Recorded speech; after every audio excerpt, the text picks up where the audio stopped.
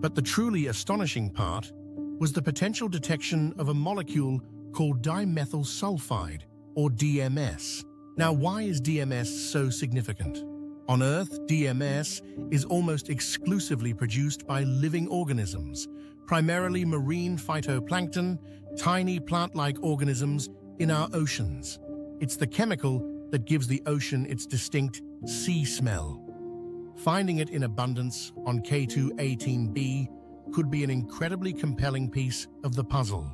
If the detection of DMS on K2-18b is definitively confirmed, it would be the strongest evidence yet for life beyond Earth. We're not talking about a distant radio signal or a fleeting UFO sighting.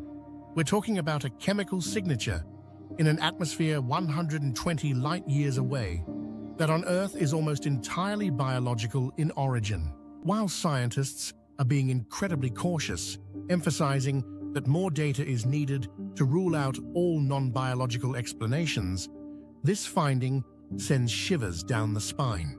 It suggests that if life emerges readily in the universe, it might thrive in conditions very different from our own.